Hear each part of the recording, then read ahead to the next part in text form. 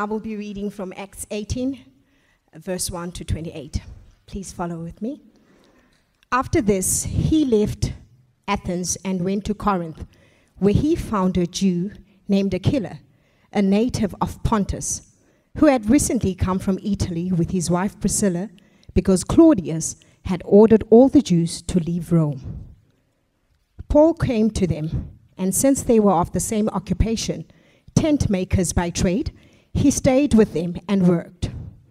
He reasoned in the synagogue every Sabbath and tried to persuade both Jews and Greeks. When Silas and Timothy arrived from Macedonia, Paul devoted himself to preaching the word and testified to the Jews that Jesus is the Messiah. When they resisted and blasphemed, he shook out his clothes and told them, Your blood is on your own heads. I am innocent. From now on, I will go to the Gentiles. So he left there and went to the house of a man named Titius Justus, a worshipper of God, whose house was next door to the synagogue. Crispus, the leader of the synagogue, believed in the Lord, along with his whole household. Many of the Corinthians, when they heard, believed and were baptized. The Lord said to Paul in a night vision, Don't be afraid, but keep on speaking and don't be silent for I am with you, and no one will lay a hand on you to hurt you, because I have many people in the city. He stayed there a year and a half, teaching the word of God among them, while Gallio was a proconsul, a proconsul of Achaia. The Jews made a united attack against Paul and brought him to the tribunal. This man, they said, is persuading people to worship God in ways contrary to the law. As Paul was about to open his mouth, Gallio said to the Jews, If it were a matter of wrongdoing or a serious crime, it would be reasonable for me to put up with you Jews. But these are questions about words, names, and your own law. See to it yourselves. I refuse to be a judge of such things. So he drove them from the tribunal, and they all seized Sosthenes, the leader of the synagogue, and beat him in front of the tribunal, but none of these things mattered to Gallio. After staying for some time, Paul said farewell to the brothers and sisters and sailed away to Syria, accompanied by Priscilla and Aquila. He shaved his head at the Cenchreae because of a vow he had taken. When they reached Ephesus, he left them there. But he himself entered the synagogue and debated with the Jews. When they asked him to stay for a longer time, he declined. But he said farewell and added, I'll come back to you again, if God wills. Then he set sail from Ephesus. On landing to Caesarea, he went up to Jerusalem and greeted the church, then went down to Antioch. After spending some time there, he set out traveling through one place after another in the region of Galatia and Phrygia, strengthening all disciples. Now, a Jew named Apollos, a native Alexandrian, an eloquent man who, who was competent, competent in the use of the scriptures, arrived in Ephesus. He had been instructed in the way of the Lord, and being fervent in spirit, he was speaking and teaching accurately about Jesus although he only knew John's baptism. He began to speak boldly in the synagogue. After Priscilla and Aquila heard him, they took him aside and explained the way of God to him and more accurately. When he wanted to cross over to Achaia, the brothers and sisters wrote to the disciples to welcome him. After he arrived, he was a great help to those who by grace had believed for he vigorously refuted the Jews in public, demonstrating through the scriptures that Jesus is the Messiah. This is the word of the Lord. Uh, good morning, fam. Uh, my name is Shiami, and I am part of the preaching team here. Every now and then you would see me standing up here, and then you may be wondering and asking yourselves, what is it that qualifies you to be standing in front of us and talking to us about God? Well, I have an answer for you.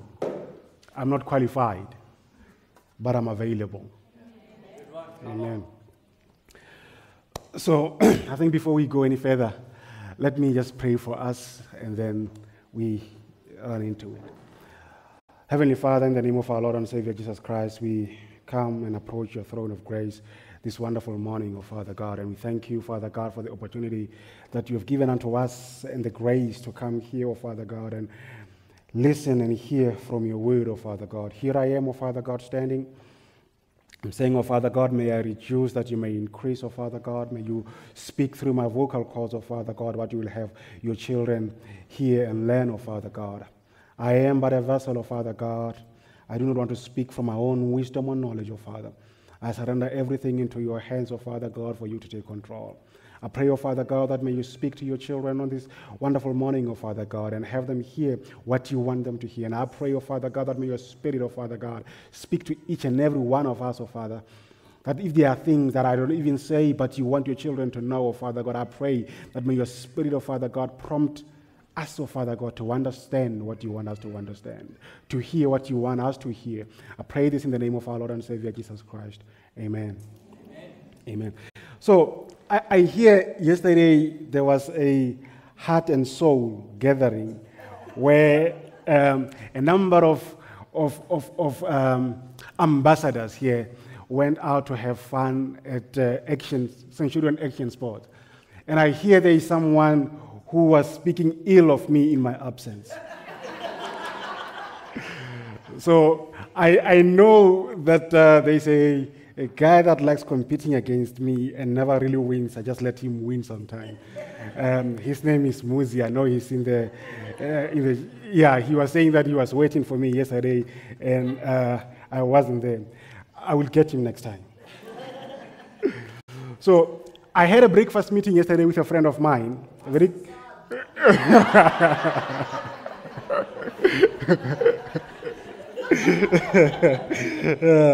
I, I, took him, I took him to gym one day, uh, and we were together in gym for like 45 minutes, and then he was crying the whole week thereafter. so, but anyways, um, I, had a, I had a breakfast meeting yesterday with a, a close friend of mine. He's originally from Zimbabwe. We met, I think, 2005 at his people encounter camp uh, at uh, Bloemfontein. So he comes from Zim. We met in Bloemfontein. He was studying in KZN at that particular point in time. I was studying in uh, the University of Limpopo at Turfloop campus. We met there the first time. Uh, a couple of years later, we met again. This time he was in Pretoria um, he was working this side. He was a friend to my wife as well. We, they went to the same church. And then when I came to Pretoria, we moved to the same uh, church. And we've been tied ever since. So he's from Zim, I'm from Limpopo. We meet in Bloemfontein. And now we both live in Pretoria. And we're still tied. It just goes to show that sometimes when God wants people to be together, from different places and different moments, He will bring them together however, whenever He wants. Right? And just before I, continue, I think let me, if you see me moving gingerly a bit, uh, yesterday, as I was saying that they were having a heart and soul, I couldn't attend that because I had to do some other things. And then later on, when the wife came back, I had to go to play rugby in Boksburg. And if you know Boksburg, you know, yeah, Boksburg so, so I, I, my wife was saying to me, uh, maybe you shouldn't go play. I, I did not listen, and I, my heart was, was hell bent and going play, to play. I went, I played, we won uh, 88 16. I, I got the privilege of scoring two spectacular tries, if I may say. right? Yeah. Unfortunately, now I'm out of commission for like almost three months or so. So if you know a very good uh, uh, biokineticist, please highlight your boy. All right. So I don't know if you guys, okay, let me put, start it this way. I grew up in a family where my parents never really said, I love you, right? But I knew they loved me. But they never really used ways to, to communicate their emotions and I think most of us might relate. that you've got somebody who loves you but doesn't say that they love you, but you know that they love you, right? And sometimes I wonder how would I have, you know, turned up if I was told many often that I was loved by them, by my parents, you know. Are there, are there decisions that maybe I would have made differently simply because I know that I was loved? And I'm not only do I know that I am loved, but I'm also told that I am loved. Right? So I yearned to be told that I, I am loved. When, and when I met my wife, uh, well, my girlfriend of 18 years in two weeks' time, um, she was not shy to tell me that she loved me. And I think that's the reason why I married her. Anyhow, what I'm saying here is there is a saying that most uh, introvert Christians love. And it says, preach the gospel. And if necessary, use words. Most of you know about it. It sounds perfect, you know, because it talks about your character being what preaches to the rest of the people. Right? It talks about the way in which you handle yourself, the way in which you interact with other people, that your character needs to be the one that says, I belong to God. That is a good principle, right? Preach the gospel at all times, use words if necessary. But is it biblical? Is it biblical to say that I'm going to preach, only use words when necessary? Because when I read my Bible, I find that uh, I am told to go out and preach. I am told to go out and spread the gospel. Right? Last week we learned about, uh, we learned that upon arriving in Athens, Paul looked around and he noticed that the people in Athens were religious. And he noticed this by seeing the number of statues that were around, the number of idols that were around. And he saw that these people are very religious. Now, imagine if Paul used this modem, of saying, preach the gospel at all times, and if necessary, use words. Imagine if he looked at all those idols and walked around and said, No, my character will speak of Christ. Would we have the gospels that we do have? Would we have the, the, the words and, the, and would we have the power that we are able to see in the Bible? Particularly in the books that Paul and the, of the letters that Paul wrote. If he only decided to use words when necessary. In chapter 17, verse 16, we learn that Paul's spirit was provoked um, when he saw that the city was full of idols, he did not keep quiet. He went to the synagogues and he reasoned with the Jews and those that were devout. He went to the marketplace, and every day in Athens, uh, whenever he could come across anyone who was willing to listen, he preached the gospel. Now, you might be wondering, what am I talking about? Or what are we talking about? Or where are we going this wonderful morning?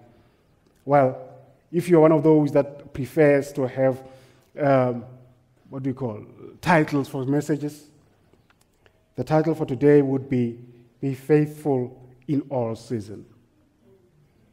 Be faithful in all seasons. Now, we will, uh, in, in verse 32, we heard that some people mocked Paul when he started talking about the resurrection of the dead bodies. And for that, he left. He left Athens and went over to Corinth. And this is where we are going on this wonderful morning. Now, there are five points that I think I want us to look at today with regard to Paul's mission. And those five are faithful intent making season, faithful in full time ministry, faithful despite the season of fear and weakness, faithful in goodbyes and the last one is carry on doing the good job. Now, let us move to chapter 18 that uh, was so eloquently read for us this wonderful morning. And I think also before I proceed, also let me just take this point and opportunity to, to thank Josie for hosting us like a champ. And, and I thank the worship team as well for leading us into, into worship. And, and thank you also, Antoinette, for, for leading us in Selah. It was wonderful. Now, in chapter 18, we learn that Paul left Athens and headed for Corinth. Now, Corinth was a major city in the Roman Empire. At the time, at an important crossroads of trade and travel. It was a commercial center and two harbors, and had two harbors, and had long been rival for its neighboring Athens. Corinth was a city remarkable in, uh, with, with a remarkable reputation of loose living and, and especially sexual immorality. In classical Greek, to act as a Corinthian meant to practice fornication. And a Corinthian companion meant a prostitute. This sexual immorality was permitted under the widely popular worship of Aphrodite, the goddess of fertility and sexuality. So I'm just wondering, I was thinking, if we were to say Corinthian on this day and age, I mean no disrespecting, by the way, but it would be almost like Hillbrow or Sunnyside, if you know what I mean. Right? So it is lawless. Everyone does what they do, you know. Everyone does whatever they want to do. But in verse 2, we learn that Paul found a Jew named Aquila and Priscilla, the natives of, uh, well, they were from Italy, but then let's just show the map here a bit. I just want to show you guys something. So, Priscilla and Aquila comes from there, Pontus. They are the natives of Pontus. They meet Paul here in Corinth. Right? Now imagine Paul, they meet him in Corinth, but where does Paul come from? Paul comes from somewhere here. Right? See how far apart their worlds were. But God brought them together for a purpose. God brought them together for a purpose. Now, the Bible says that in verse 2, after this, Paul left Athens and went to Corinth. There he met a Jew named Aquila, a native of Pontus, who had recently come from Italy with his wife Priscilla. Because Claudius had ordered all Jews to leave Rome, Paul went to see them and because he was a tent maker, as they were, he stayed and worked with them. Every Sabbath, he reasoned in the synagogue, trying to persuade the Jews and the Greeks. He was a tent maker, so they were. There was something that brought Paul and Aquila and, and, and Priscilla together their profession. They were in the same trade. There is a point of familiarity and commonality that has been created between Paul and Aquila and Priscilla. God gifted Paul with a community where he was. God intervened and provided for Paul through finding people who did what he was doing. And what did Paul do? It says that he worked with them. But every Sabbath, whenever he took a break, he knew his mission. He understood his mission. He worked with them. And I believe that even when he was working with them, he did not stop talking about Christ. I believe that even when he was working with them, he also spoke to them about Christ. He evangelized to them, I believe. Are you at a place where there are people that you're working with that do not know Christ? What actions are you doing to bring Christ to them? What actions are you doing to bring Christ to them? We don't know how he found them, but he did. It was discovered that they were in the same trade. Their work kept them together. We have an opportunity to share the gospel with our fellow co workers. I understand that we are now living in a place or in an environment where God is being kicked out of many places. Right? Everybody says we need to be politically correct. There are too many religions. We do not talk about your God. Right? I, I used to work at a place where every single morning before we started, our leader was a devout Christian. And every single morning before we started, we started the day with a prayer. And we came early, excited because we knew that we were going to pray. We were not taking into our employer's time, but we made a concerted effort to be there early and start our day with prayer. When they try to kick God out, God brings you in so that you can bring God in. So, whenever you have an opportunity to speak about God, to show the world God, do not say, No, I will only speak if necessary. I will only let them see my character and my work effort and know about God. Speak about God.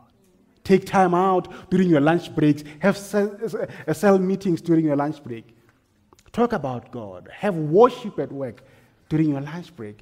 Talking about God. Showing God to all who cares to see. Statistically speaking, we spend more time with our colleagues than with our families. Imagine with working with individuals who, like you, believe and have the same experience the love of Christ Imagine starting a small group and meeting to discuss the living Christ during your lunchtime, breaking bread as well as you nourish the soul. Paul found like minded people to do life with.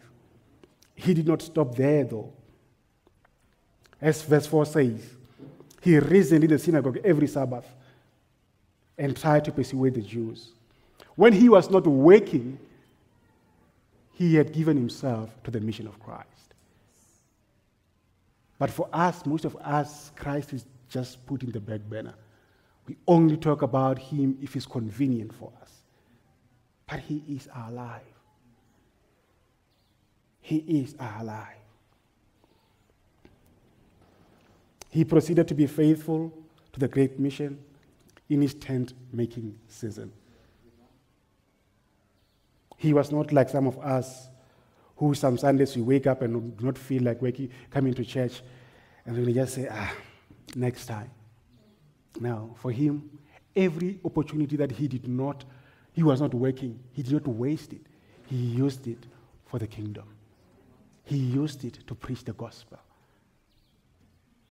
Do we take the opportunities that we have to interact with people around us and extend the mission?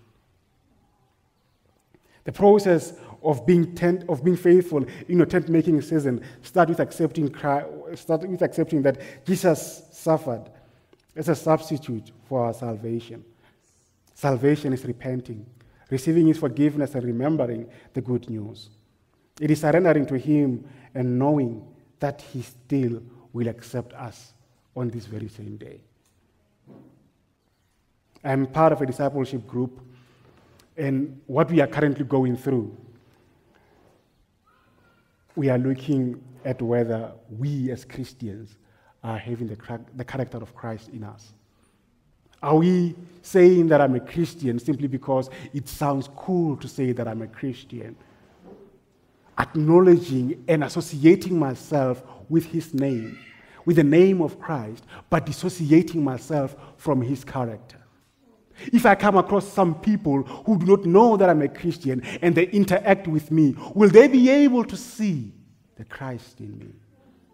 If I speak to someone who does not look like me, who does not seem to be in the same sophistication as me, will they understand and the words that are coming out of my mouth, will they say, there is something different about that guy? Or are we like the world assimilating to every single thing? Are we associating ourselves with the name only and dissociating ourselves from his character? We are working through having the character of Christ in us. Whether everybody is watching or anyone is watching or not, the character of Christ. That is what we want. And that is what the world so desperately desires at this point in time. To see the character of Christ, to see his children rising up and showing the world how to truly love, how to truly forgive, how to truly embrace the character of Christ. Are we having that? Do we have that? Can the world see the character of Christ in you and I when they look at us? The way that you interact with a car guard, does it show the character of Christ? The way you interact with a cashier at, at, at a shopping complex, does it portray the character of Christ? The way you interact with, with a waiter when you went out to have some meals, do you even know his name? Do you even take time to understand his name or memorize his name so that when you need him, you don't just say, but you call him by name because you see him. Because you see him. You see, Christ sees us and he calls us by name every single day. He takes the moment to know us. He takes time to know us because He called us. Can't we just extend the same gratitude? Know the people around us, call them by name. Make sure that we understand, they make, we make sure that we, we make them understand that we see them. In, in, in, in isiZulu, when they greet you, they say, Sawubona. I see you. In, in Sepedi, Ritobela meaning I'm humbling myself before you.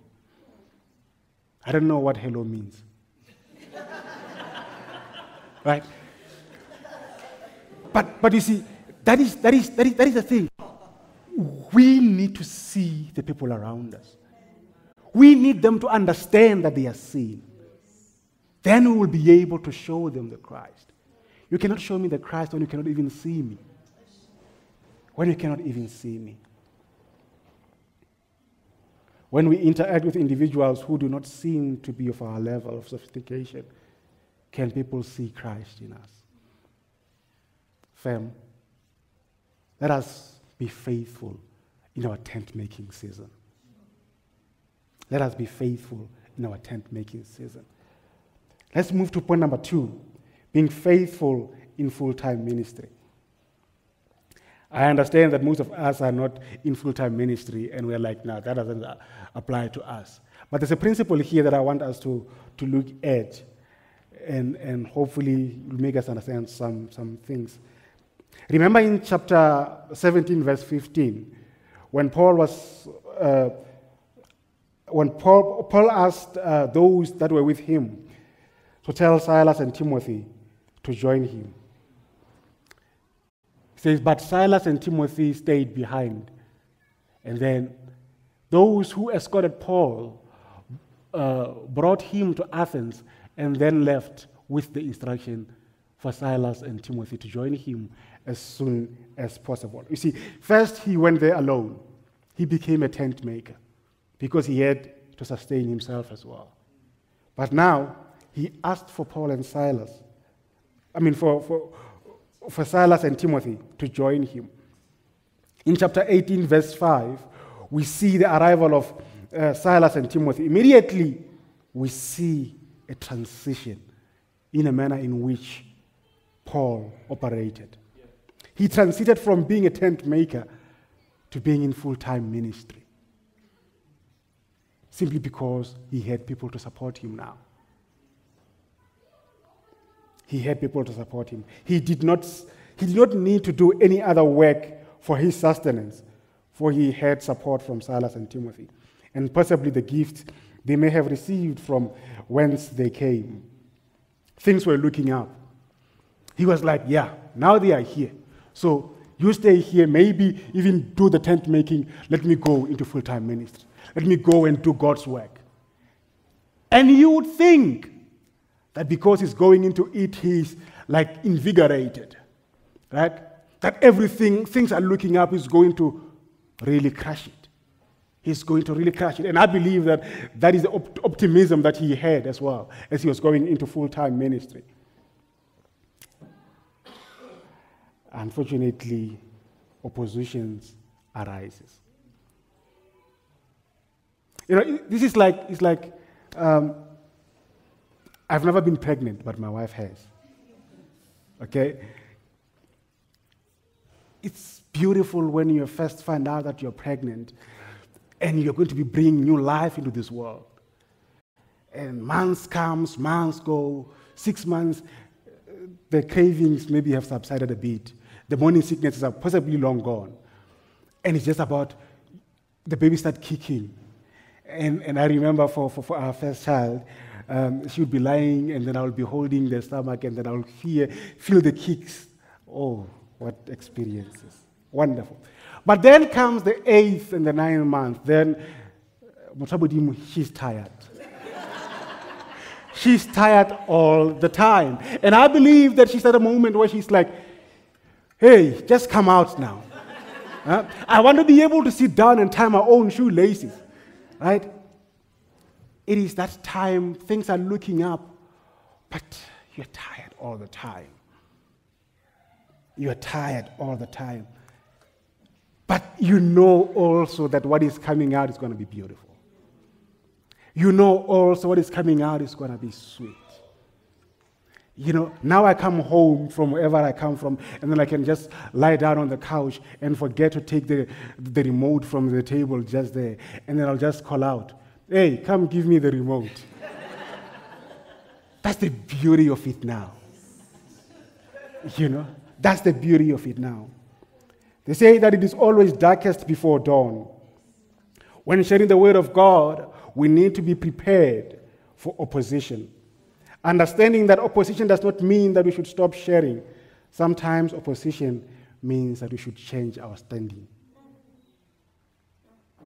When Paul but when, in verse 6, but when they opposed Paul and became abusive, he shook off his clothes in protest and said to them, Your blood be on your own heads. I am innocent of it. From now on, I will go to the Gentiles. Doesn't this look familiar? Shaking off things off of yourself? If you look at Matthew chapter 10, verse 7, let's hear what, what, what happened.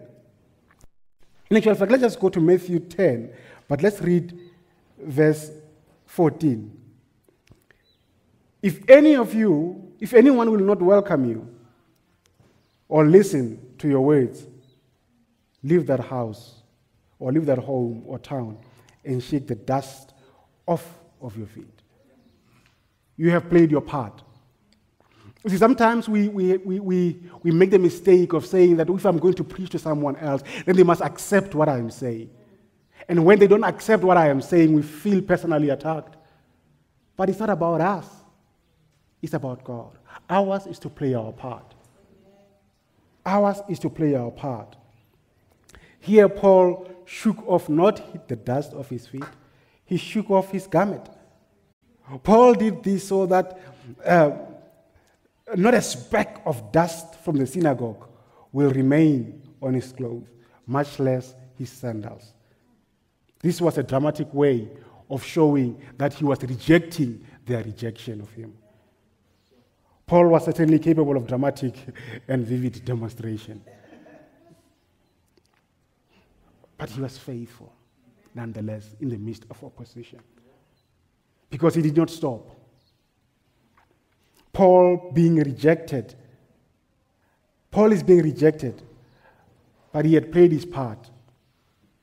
He was moving on, knowing that he had played his part. The fear of rejection or rejection itself should never stop us from preaching the word of God. But guess what Paul does after being rejected in the synagogue?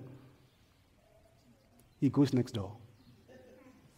You may reject me here, but I know somebody else might not reject me. I may want to speak to you about Christ and you're saying, No, I'm not interested. It's okay. Maybe somebody walking next to you will be interested. Because I'm not going to give up preaching the Word of God. I'm not going to give up talking about the love that I have received, the grace that I have received.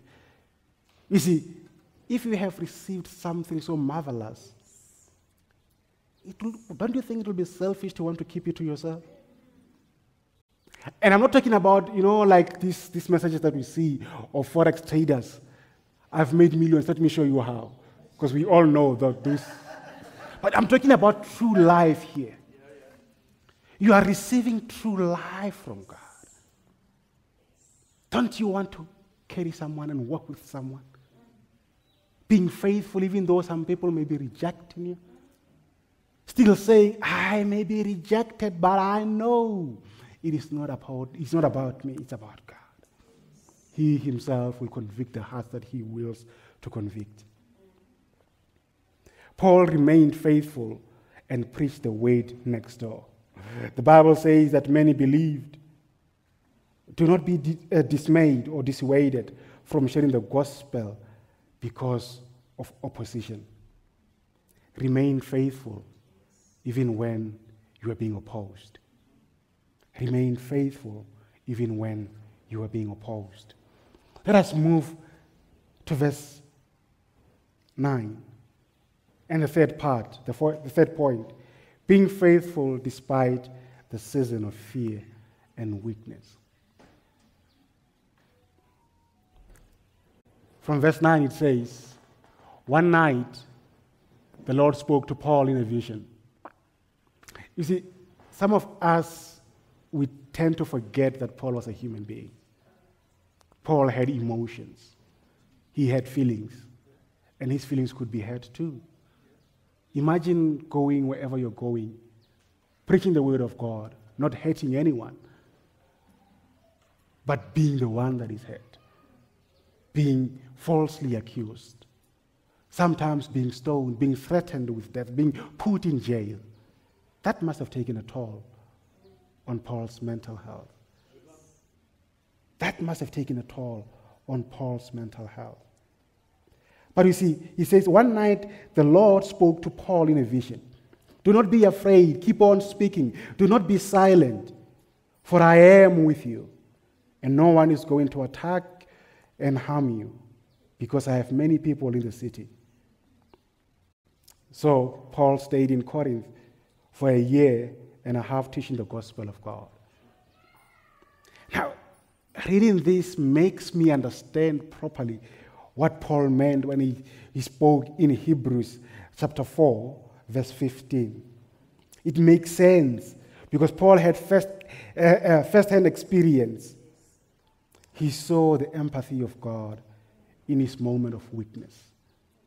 In Hebrews 4, verse 15, Paul says, For we do not have a high priest who is unable to empathize with our weakness, but we have one who has been tempted in every way, just as we are, yet he did not sin. You see, despite all the torment that he received, Paul was encouraged by God. You see, there, there is something different about being particularly and specifically encouraged by God. Not by human beings, but by God feeling Him and hearing Him speak to you.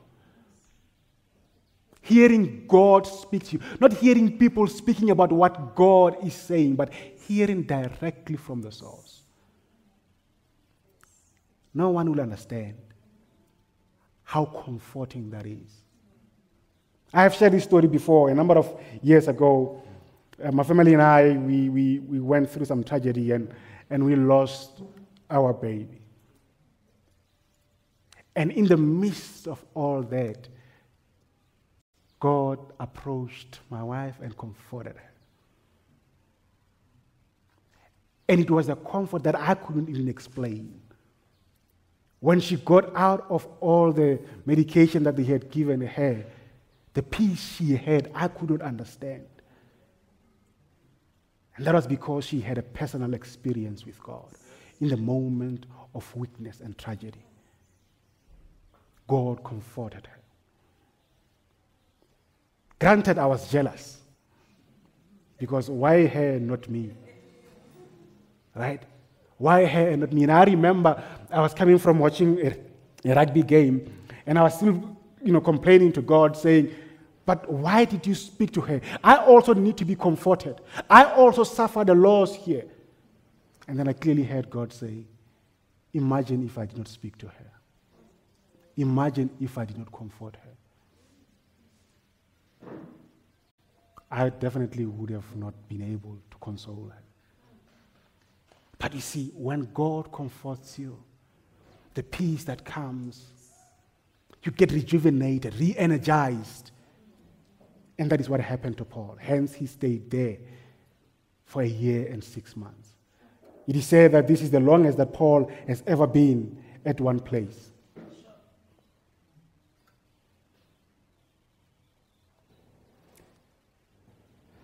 Are we having problems with the people around us? Are you having problems with a spouse or partner? And you feel like throwing in the towel because it's a moment of weakness that you might be in, or fear of the unknown. Don't throw in the towel. Are you struggling to find employment? Don't lose heart, the sun shall rise upon you as well. Are you heartbroken? Be still and know that He is God. Are you on the verge of giving up? Keep fighting, for God is with you. Are you in pain from losing loved ones? Just know that you are loved and you are known, known by name. The Lord said to Paul, For I am with you. This promise was the basis for God's command not to be afraid and to keep preaching. When we understand what this means and who says it, that is enough. That is enough. When we understand that we are known by the Creator, that is enough. When we understand that our Creator surrounds me, it reminds me of a song when, the, when it looks like I'm surrounded, but I'm surrounded by you. When you understand that you are surrounded by God, you get rejuvenated. Are you weary? Are you tired? I know the rejuvenator, the rejuvenator of our souls. He can strengthen you, gives you more courage to rise up from the ashes because He is our God, our Creator. And He says, I am with you. And He says, I know you by name. Charles Spurgeon, when reflecting on this, he says, he thought it emphasized three things the presence of Jesus, which is enough, the sympathy of Jesus, which is enough, and the cooperation of Jesus, which is enough. Imagine you being a Christian, and this is something that we do have. Look at what he says, Charles Spurgeon, about being, tri- uh, you know, in the midst of trials and tribulation. An ointment for every wound, a cordial for every faintness, a remedy for every disease. Blessed is he who is skilled in the heavenly pharmacy and knows how to lay hold on the healing virtue of the promises of God. When you have accepted Christ as the Lord and Savior, you've got access to the heavenly pharmacy. Use it. Use it. You've got access to the heavenly pharmacy. Use it. Also, consider, that the, consider the possibility that today, as the, as the Lord said to Paul, I have many people in this city, that you might be one of those many people that needs to bring encouragement to someone else. That you might be one of those people that somebody around you, maybe close to you, is on the verge of giving up and just need to know that, hey, I am one of those that God has sent for you to encourage you, to uplift you. Maybe you need someone to encourage you. Maybe the person sitting next to you might be that particular individual. And maybe you are that particular person. Fam, it doesn't matter what state of weakness and fear you find yourself in. Whatever position you are in, it does not matter what you have done. Jesus' call remains true to this day. If you feel weak, and you feel undeserving, You feel like the burdens are too much. This is what Jesus says to you today in Matthew 11 28. Come to me, all you who are weary and heavily burdened, and I will give you rest. Take my yoke upon you and learn from me, for I am gentle and humble in heart, and you will find rest for your soul.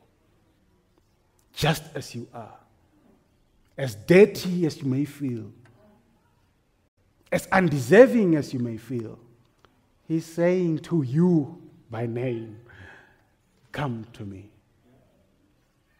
Come to me, and I will give you rest. Even now, we can accept Him as our Lord and Savior.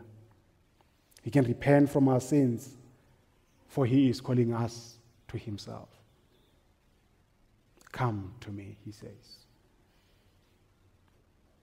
Sometimes you also need to say goodbye. And even in those moments, you can be faithful. In verse 18, we learn that Paul stayed, uh, this uh, point number four, faithful in goodbyes. Paul stayed on in Corinth for some time. Then he left the brothers and sisters and sailed to Syria, accompanied by Priscilla and Aquila. Before he sailed, he had his hair cut off at, is it, how do you pronounce this? Cenchrea. I was wondering whether it was Cenchrea, Centria, because of the vow he had taken. They arrived at Ephesus, where Paul left Priscilla and Aquila. He himself went on to the synagogue and reasoned with the Jews. When they asked him to spend more time with him, he declined. There are some times when we are still doing good things, we also need to say, not now. There are times when we are saving, even in the church, when we are saving and we are asked for many other things, and you do feel that you don't have capacity, it is okay to say, No, I don't have capacity at the moment. It is not a sin to say, Let me take a moment out. It is not. And if you feel overworked in this church, trust you me, I know that the leadership do not want you to feel that way. Take a break. It is okay. Take a break. It is okay. But he left and he promised, I will come back if it is God's will. See, sometimes we need to say goodbye permanently. Sometimes we need to say goodbye, but for a moment. Are there things in your life that you need to say goodbye to? Be it permanently or for a moment or for a season it is okay to say goodbye. It is okay to say goodbye. Now, we also need to understand that this, okay, let me just read and finish here. When he landed in, in Caesarea, he went to Jerusalem and greeted the church and then went down to Antioch. So, this is the end of Paul's second mission and the beginning of a new one. And the beginning of a new one. Uh, maybe let's have a map and see if I can try and point some things out here. So he lives here with Aquila and Priscilla, and they go here. He leaves them there, and then he Paul sails back and encourages everyone here and ends up here right? He ends up here. He left them there. And when he's here, and you may think that, no, yeah, that's it. But now Paul only goes around encouraging others. And then the mission starts again. But the ones that he left behind do not stop because Paul is gone. The ones that he left behind proceed with the mission. Proceed with a mission. You see, there are different seasons in life a season to meet and a season to say goodbye. Paul was in tune with God and understood when it was time to say goodbye. Is there anything in our lives that we need to say goodbye? So for some of us, it is time to say goodbye to social media for a season. For some of us, social media has stolen that sanctity of being in the presence of God. For some of us, it has stolen the moments and the joy of being together with our loved ones. When we are together, the first thing that we see is an opportunity to take pictures and post them in social media instead of enjoying the moments with our loved ones. Maybe it's you or maybe it's me that we need to say goodbye to Twitter, to WhatsApp, to Instagram or Facebook or whatever social medias are out there. Even the TikTok, TikTokies. Fam, let us be faithful in every season. As I was saying, that the ones that Paul left behind, they did not stop simply because Paul was not there. They were equipped for the good work. Let's go to point number five and talk about carrying on the good works. And we will read Acts 18 24 to the end. Meanwhile, a Jew named Apollos, a native of Alexandria, came to Ephesus. He was a learned man, he was an educated man.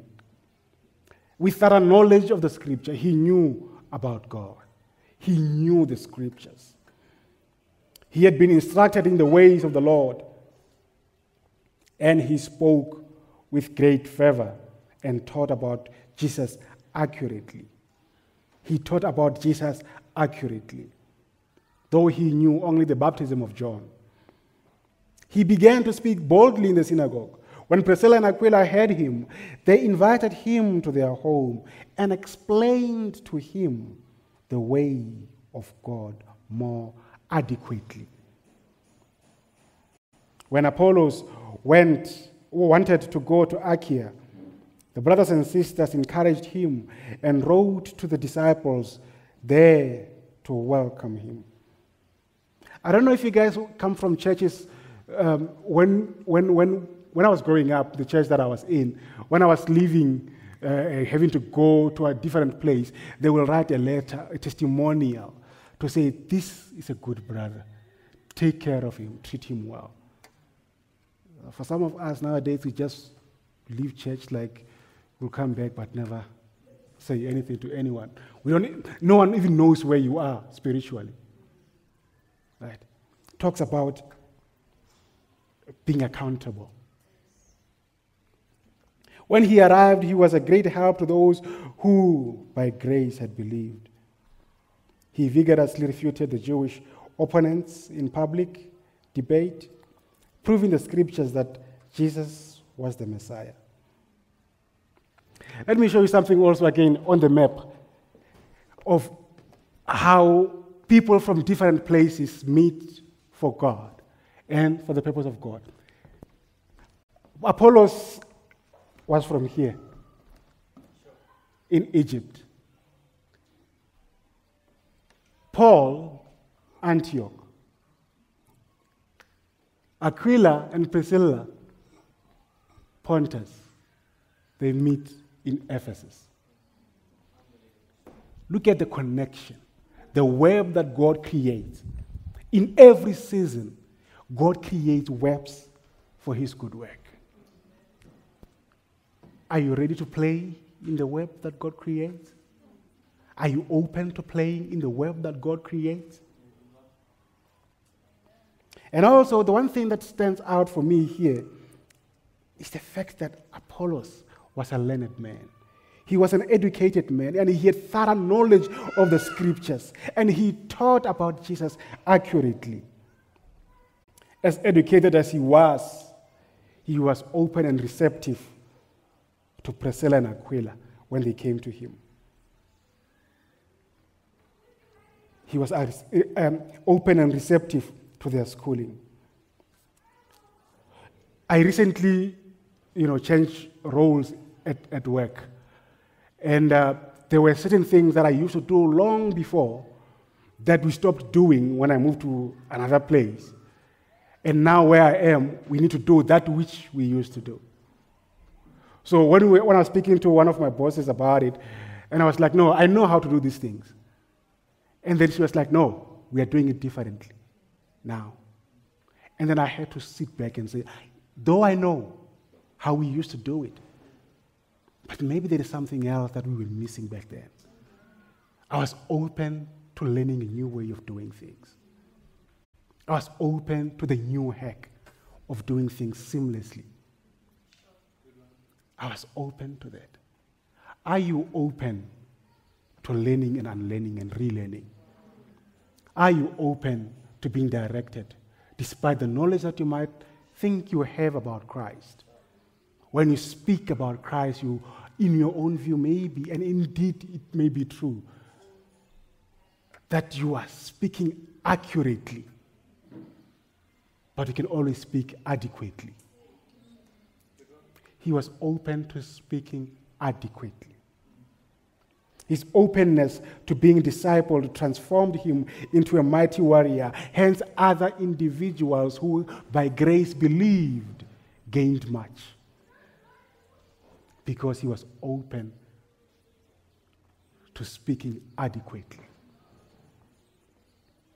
Apollos continued the good work that Paul had started.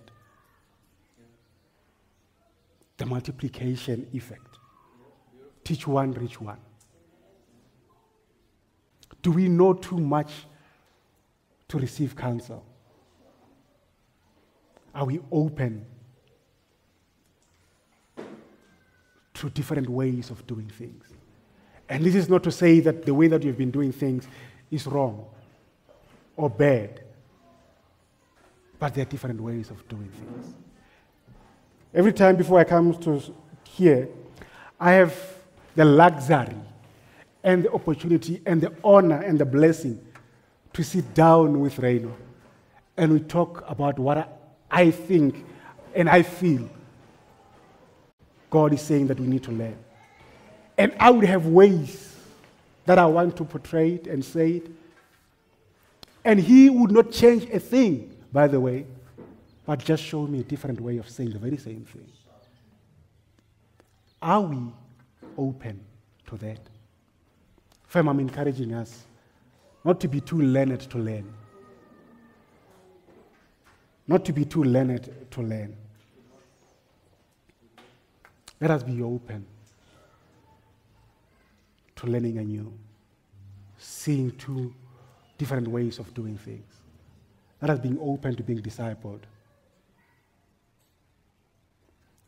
Dear Heavenly Father, here we stand, O oh Father God, this morning. We thank you for your teaching, O oh Father God, that we may be faithful in every season. We pray, O oh Father God, that may you give us the courage when we are weak, O Father God. Strengthen us. Rejuvenate our souls, O Father God, that we may be reinvigorated, O Father God, for your work. We come to you, O Father God, and we thank you and we say, Lord of all creation, continue, O Father God, doing the good work in us, O Lord. We pray, O Father God, that may you continue, O Father God, loving us, caring for us. We come and we humble ourselves before you, O Father God. For all this is for you, Jesus Christ. In the name of our Lord and Savior Jesus Christ, we pray. Amen.